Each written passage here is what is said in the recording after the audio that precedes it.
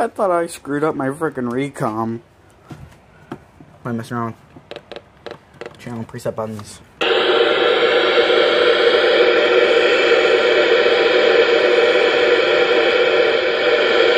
Nope, channel one's down on that radio.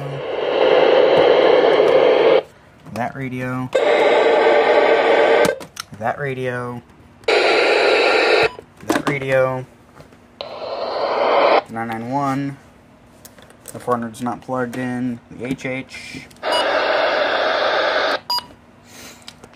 I moved the zone guard over to the coffee table and I'm going to be moving into the blue room tomorrow, so that'll be good. Um, I feel like a compact bookshelf to throw all my radios and got more up the road. Um, zone guard.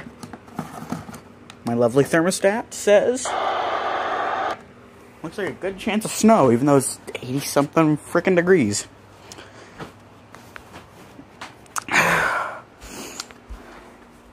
By the way, the blue room is.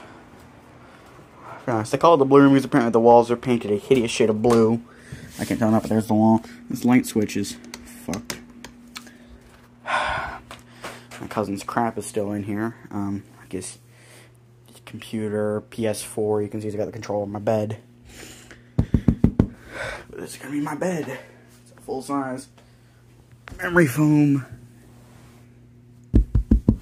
Technically, we're like you're supposed to let this thing set for like 48 hours to be good and everything. Package it. It's been like 47 and a half hours, but it's good and comfy. These curtains are going. Yeah, these curtains are going.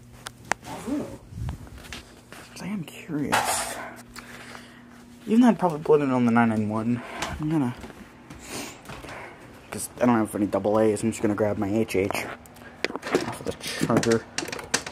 I'm going to pop it in that window and see if I can pull in channel 5. We're going to move in, I'm going to move in here tomorrow, but I'm going to sleep in here during the night. Give us out, but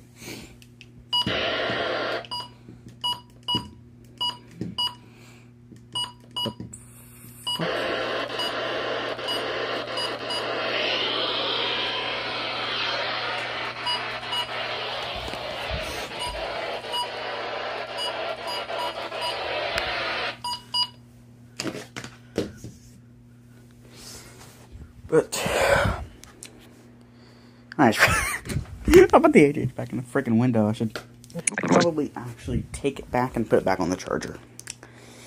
Jeff, I'm not taking it with me anymore. I just leave it on charger. I'm going down to Myrtle Beach, so I'll be able to pull in uh, KC 95 down there. I'm bringing the HH, the 991, and I'm to go for the Reecom. I was to go 100, but I want something that can do AMF. I mean, even I get an SVR or an FFW or something while I'm down there. Anyways, I'm to hop off of here, call the NWS. Shit, I bashed my foot. I'm to call the NWS, let them know channel 1's down, and um, then I'm just to clean up around this area.